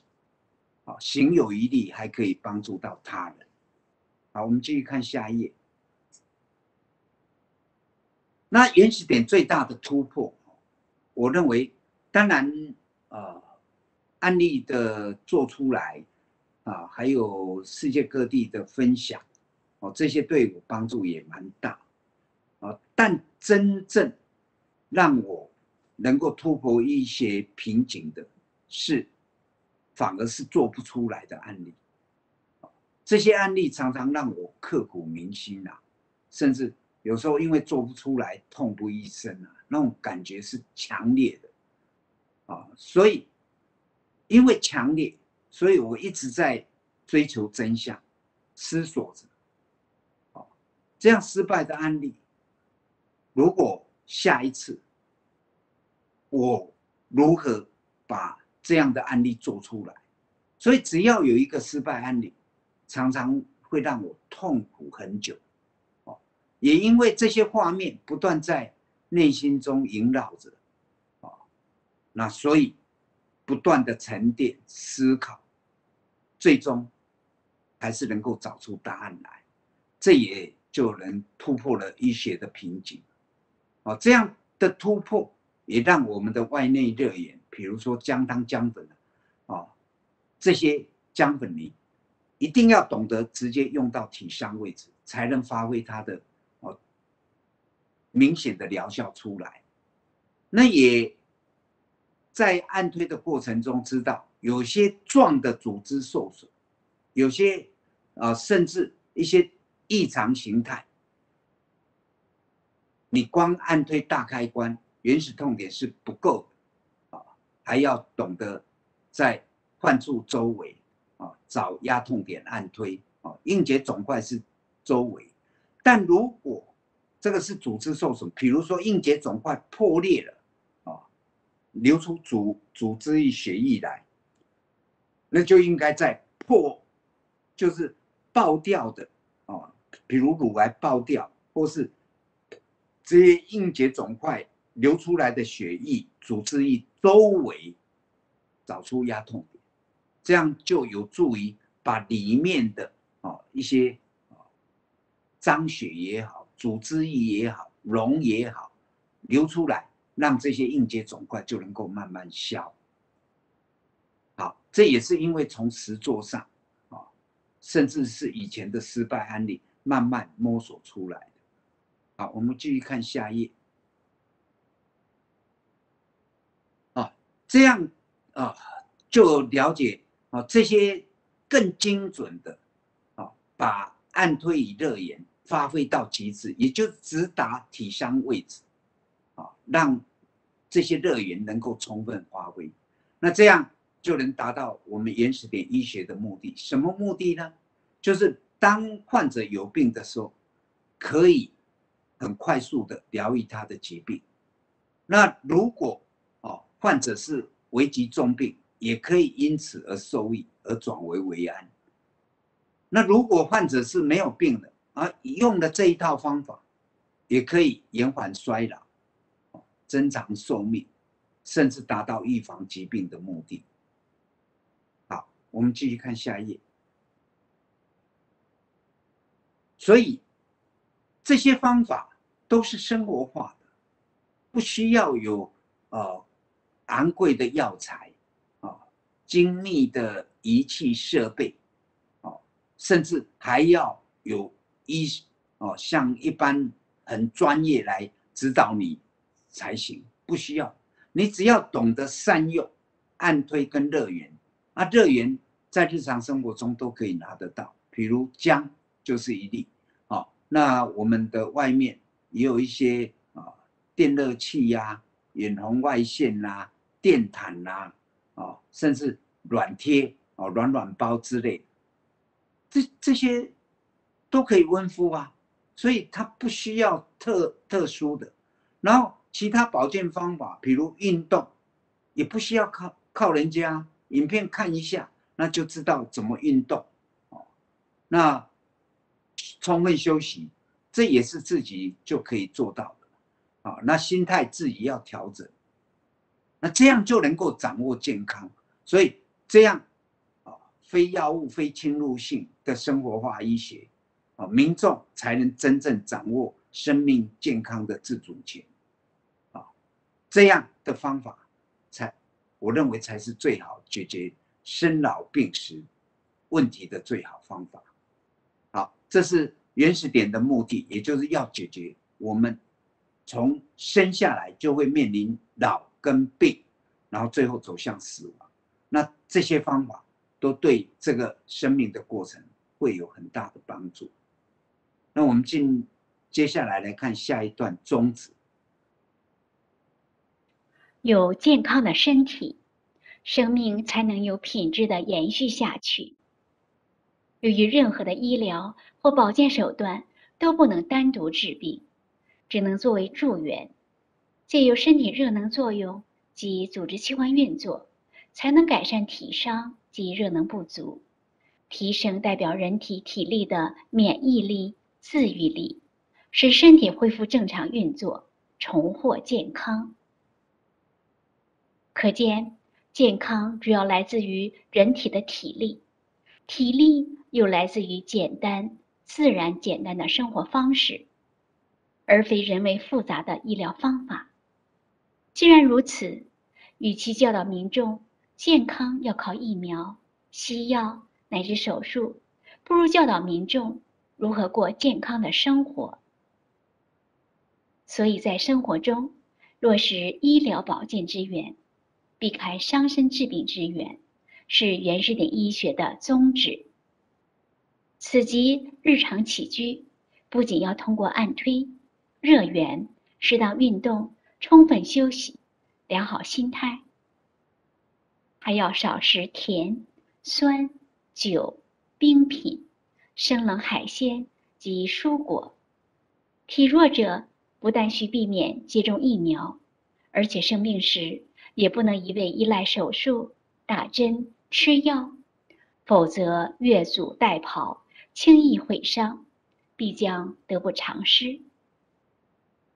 如此才能趋利避害，改善组织器官运作及热能不足，提升人体的免疫力、自愈力，从而达到有病可速于疾病，无病可强身增寿。毫无疑问，这种崇尚自然、尊重生命、守护身体的生活化医学，既合乎古典中医、西医智慧的精髓，也是医疗与保健必走之路。好，我们来看这一段啊，健康的获得啊，大家都希望健康啊。因为有了健康的身体，你生命才能有品质的延续下去嘛，这是一般大家都能理解。要不然你整天病恹恹的，这样人生又有什么意义呢？啊，那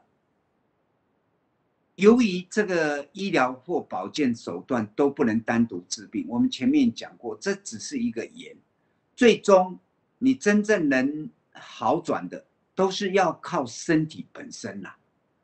也就是中医讲的体质，那在中医在原始点讲的就是热能作用，哦，这个一定要让它够，哦，足够了才能够推动组织器官正常的运作，啊，这样我们才能啊达到啊身体的免疫力啊、治愈力啊的提升，啊，使身体都一直维持着啊正常运作啊。这样，即便你生病了，你从这一方面下手，啊，改善了这些体伤及热能不足，那你的免疫力、治愈力就能提升嘛。那同样，我们的身体就能恢复到正常运作，重获健康，这是毫无疑问的。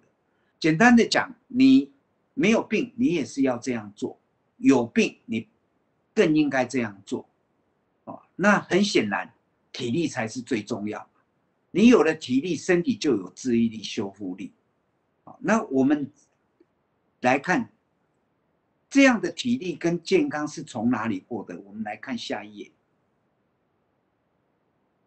啊，这里就讲了啊，健康主要来自于体力，那体力是来自于自然简单的生活方式，也就是你只要规律的生活，那如果啊平常多运动啊，心情也好啊，然后不要熬夜，如果能做到这样，你大部分的病已经去掉，然后如果又懂得哦饮食避开寒凉的。然后多多一些温热，然后进一步了解哦，生病的时候你也是用这样的方法，身体就能快速恢复。那这样不就是既简单又方便吗？所以这样的生活才是得到健康最好的好处啊。那这样我们健康还要去找那个复杂的医疗方法吗？哦，所以很显然。这个已经可以看出哦，我们的健康原来是不假外求的，而不是生病了一定要跑医院或找医师。你只要懂得平常的养生啊，保健这一些方法，你自然就可以达到健康。所以这样的方法反而更简单、更容易获得。啊，所以我们最后说，与其教导民众啊，健康要靠。外来的外求，比如说疫苗也好啦，啊，甚至西药，啊，乃至啊生病了就一定要靠手术，啊，这些方法不如在还没有生病之前就开始教导民众如何过健康的生活，即使民众生病了，也可以用这样简单的方法，啊，就可以重获健康，啊，所以我们。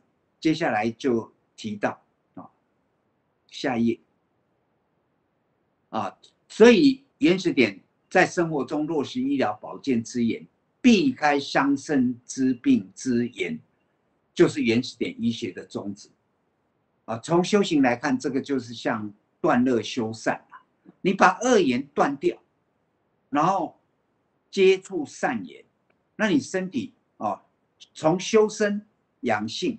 也可以达到。那从我们的养生保健也可以得到。哦，那什么是善言呢？啊，就是日常起居一定要通过按推、热源、运动、休息、心态，这样就可以获得了。啊，这这些都都在日常生活中，而不需要外求这些哦。仪器呀，打针、吃药啊，啊这一类的。好，我们继续来看下面。那还要注意的，什么是伤身治病之言，也就恶言呢？啊，这里要大家啊注意的就是，平常要尽量不要吃啊甜、酸、酒、冰品、生冷海鲜及蔬果，也就是这些都是偏寒凉。那至于海鲜及蔬果，如果要吃，那就要懂得加姜跟辣椒，然后煮，哦熟熟食以后，呃煮熟了以后才能吃，啊尽量避免生食，啊因为生食大部分都含凉，会消耗很多热能，尤其体弱者，啊啊更受不了，所以体弱者体弱者不但不要少食。而且也要注意，哦，生病的啊，平常不要啊，就是要避免接种疫苗，因为疫苗极寒，一打有时候身体弱者马上就出问题。像台湾啊，这一次啊，在打疫苗的过程中，我们就看到哦这样的结果，因为台湾啊，从去年三月啊到十月的统计。很多人感染了病呃病毒，当然不对全球而言是少数了。啊，三月到十月统计是死亡哦，因为感染而走掉的人就有八百四十几个人，但接种疫苗、疑似接种疫苗而往生的，台湾统计的数字却超过了感染病毒死亡的人数。而十一月以后，因为台湾啊几乎没有感染的人员，那但是接种疫苗还是继续发生啊，还是不断的在接种，鼓励民众接种，但之后的死亡人数就更远远超过啊，因为感染病毒而死亡的人，所以这样来看啊，这些为什么会接种疫苗而有？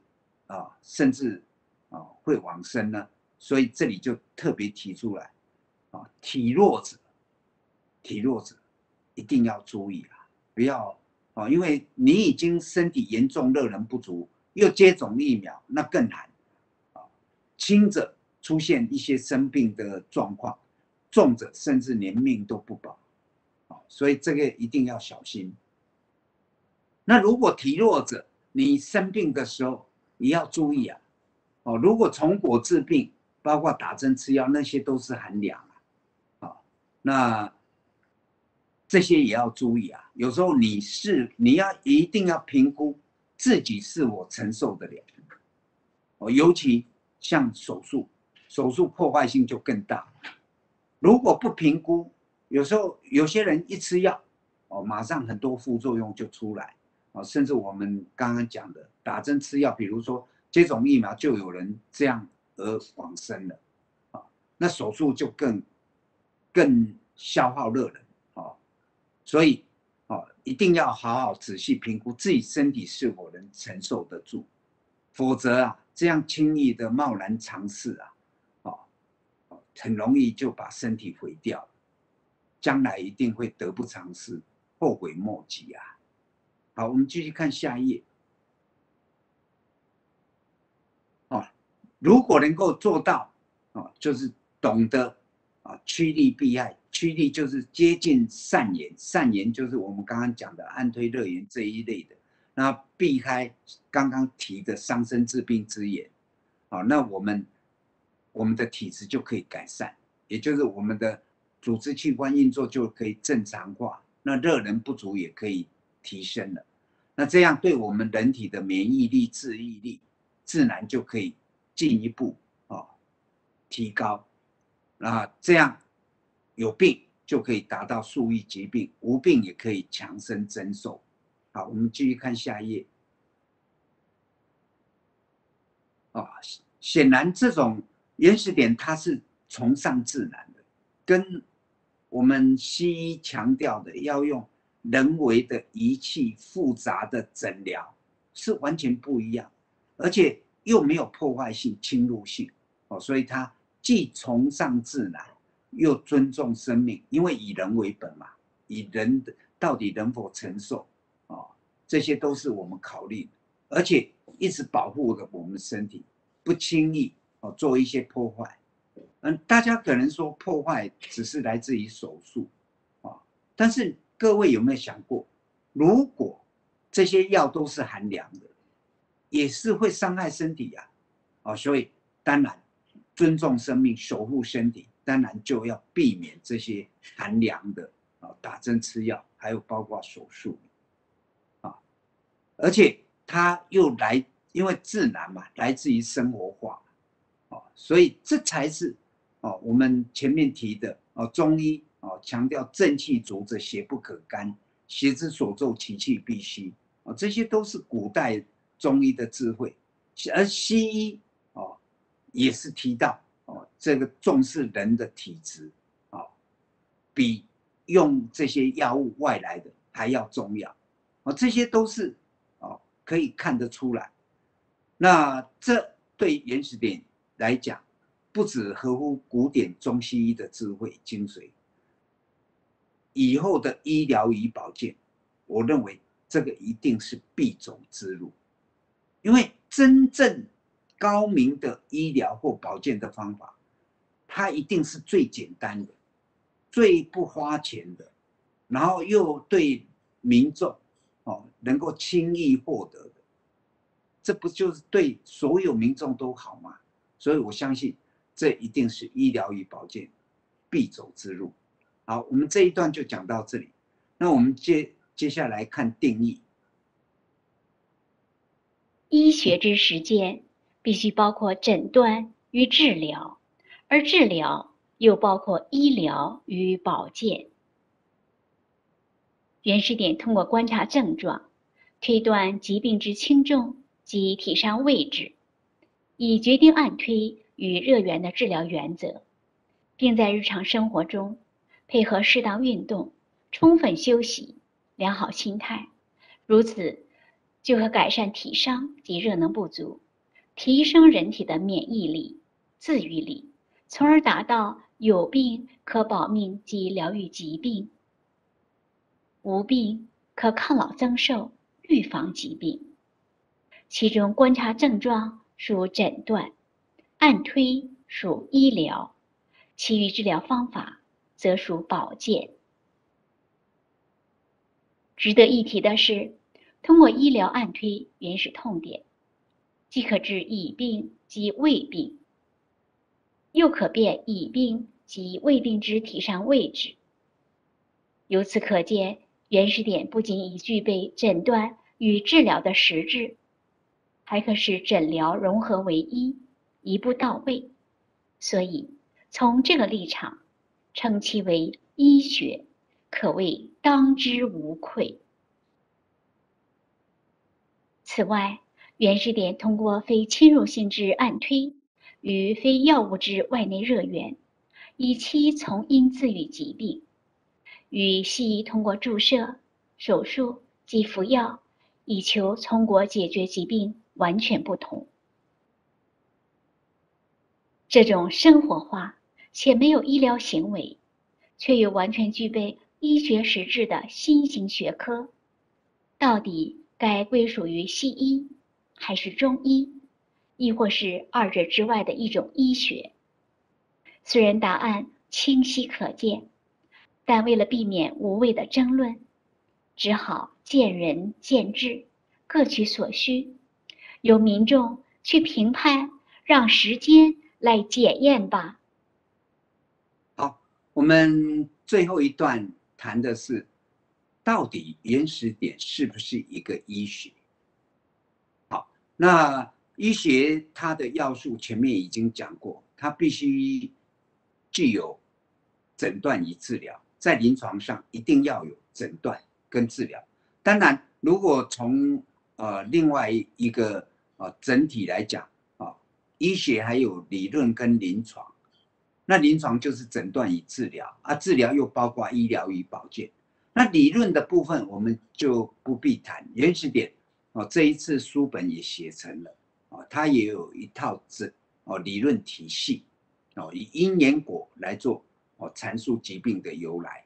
那中医当然也有阴阳五行啦、经络学说，这个我们就不说了。那西医就更复杂，所以理论的部分，只要能够言之成理哦，然后临床又能做出来。这个是毫无疑问是可以被大家接受的，但不能说理论不同就否定了啊。那个是不是医学？比如中医的理论阴阳五行啊，西医也未必能同意它，但是中医还是是一个一门医学，毫无疑问。那同样的，西医又注重解剖学，那所有的检验又很精细。那跟中医的诊断方法也完全不一样，啊，但它自有它的一一套理论体系，那这个我们就不探讨。那在就医学的本质就是要解决疾病，那在临床上要解决疾病，就一定要包括诊断与治疗。那在治疗的方法又有医疗与保健。很可惜的，西医前面我们已经讲，它只有医疗而无保健。那现在这个世界又是以西医独大，所以西医说了算。所以西医说，任何人都不能谈医疗，只能谈保健。那事实上，保健才是治病的方法，但西医认为只有医疗才能治病。那这个部分啊，我们前面也已经讲过，像中医，一针针就是医疗，属医疗。那灸跟药都是改善体质啊，那这个是属于保健，难道保健就不治病吗？前面这些哦，很显然西医是比较狭隘的，在医学的界定上。好，那我们哦就整个来看啊，治疗方法不只是西医的医疗，原来还有保健的部分。好，那这样才能构成一个医学。那我们来看看原始点到底是不是一个医学。好，下面就是谈这些观察症状，就是诊断的开始的，然后从果推因啊，然后来辨疾病的轻重及体伤位置，啊，就可以决定我们的治疗方针。啊，而且又可以充分利用日常生活，比如运动、休息、良好心态，来改善我们的体香及热能不足，啊，提升我们的免疫力、治愈力，这样就可以达到有病治病，无病还可以强身的作用。好，那我们来看下一页。好，下一页。好，上上一页，上一页。好，上一页。好，它其中观察症状属诊断，那按推属医疗，那其余治疗方法包括热源，还有呃运动、休息、良好心态，则属保健。那这样说来，原始点既有诊断。啊，也有治疗，治疗又包括医疗与保健，完全都有了。好，我们继续看下一页。啊，这里特别提出的就是，尤其原始点的按推，它既可以治已病及未病，也就是在治疗已经超出我们现有医学只能治已病，它还可以治未病，然后进一步它又可以知道已病或未病的体相位置。那这个就是属于诊断啦，哦，所以原来按推它已经诊疗合一了，哦，所以由此可以了解原始点，它诊断不只具备诊断与治疗，还可以使诊疗合一，一步到位。所以就这个立场，哇，那比医学现有的医学只能治一病，也超出很多啊。然后又诊疗一体呀，哦，所以从这个立场。称它为医学，真的是当之无愧啊！所以我认为从原始点，啊，这个这个整个内容来看，当然就是医学。那而但是这个医学又跟之以前的医学不一样。我们来看下面，好，下一页，好，这个原始点的医学它没有侵入性，啊，没有侵入性。中医也有侵入性啊，比如针刺穴位就是侵入性，它没有，也非药物。中医有中药，而原始点不用，它就是一个热源的概念而已。哦，那热源来自于如果吃就是姜啊，姜为最主要，甚至一些调味料都是它的热源来源。那如果哦它外热源那就更多了，外热源不不止姜可以用。还有电热器、远红外线，啊，这这刚刚提的软贴，这些通通可以用，甚至原始点研发出来的红豆蛋，啊，这这个也是很好的啊外热，所以这些都是日常生活中就可以得到，啊啊，也没有药物，跟中医是不一样。那从这个来看，也跟西医又更不一样，啊。西医注射就是有侵入性，手术也有侵入性。那服药呢？啊，它是用药物，原始点又不用药物，所以你从他的诊断，你说他违反哪个医学的法规？我我倒不认为，只是西医在他的观念中，就是不能让民众说，哦，除了西药哦能治疗。好疾病以外，其他的啊，还有，当然他也不敢说中医有什么问题啊，他威力还没有来足以否定到中医，但是他足以框住所有民众说，你任何的方法都不能说治病，只要你敢说治病，你就是违反医疗法。但问题原始点，它也不用药啊，它也没有侵入性啊，啊，这样你只要让自己的免疫力、自愈力提升，达到自我疗愈疾病，难道这样不行吗？但西医是不容不容许这样的说法。反正你只要谈哦，你这样用这些方法，然后病好了，那就违反医疗法啊。这个也有看看得出来西医的霸道。也就是如果从中医的角度，中医中药都都是一些日日常生活的。它不是像西医经过淬炼研发哦，然后种种实验哦，才中医也没有啊，就哦，比如姜哦，就是姜，然后顶多就是加上一些泡子啊，就可以用了哦。那两者的用法是不一样，但是也中药这些都是改善体质，当然不能立刻解解症啊，但体质改善了。啊自然会修复体伤，自然就可以达到治愈哦，自我疗愈疾病的目的。但原始点是从日常生活中更也可以达到这样的功效，但它不用侵入性，也没有药物。那说这个是违反医疗法，有一点过啊，是不是要求过了？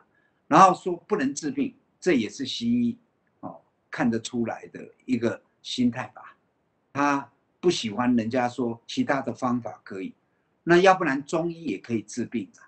那原始点的啊外内热炎，外内热炎跟按推跟中医的一针二灸三用药其实是异曲同工之妙，又有这样的功能，但又没有侵入性，也没有药物，所以这个应该从整个来看。哦完全也脱离了啊医学的很多概念，也就是它是一个突破，它既不侵入性，又不药物，这个跟中医、西医两者都是最大的不一样，而且西医又从果治病，跟原始点完全的不同，啊，那中医它是从因解症啊，这个跟原始点的理念还比较。算相近，所以我们从这个角度，我们看下一页。啊，这种生活化且没有医疗行为，却又完全具备医学实质的新型学科。既然它是一个，因为它已经含有哦，医疗与保健的，还有诊断，都都已经具备了，那当然。称为医学，我认为毫不过分。但是，到底它该属于？因为现在只有现在的医学只有西医，要不就说中医。那到底原始点是属于西医呢，还是属于中医？也有很多人说：“哎呀，那这个就是中医的一部分嘛。”但事实上，它又不用药物，又没有侵入性，跟中医的疗法事实上还是有区别的。那跟西医仪器检查的更有区别，那到底是属于西医？如果以现在人们的狭隘的眼光，反正医学就是不是西医就是中医，那你自然你如果说你是医学，那你到底是属于西医还是属于中医？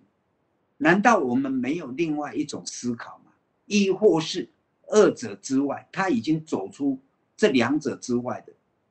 一种新形貌的一种哦医学呢，当然答案已经清晰可见了，但是哦很多人还在谈论着啊，这个应该属于很多人就冠上哦这是中医原始点调理方法哦，也有人就把原始点没有经过我允许，他就把它列为中医的一部分了。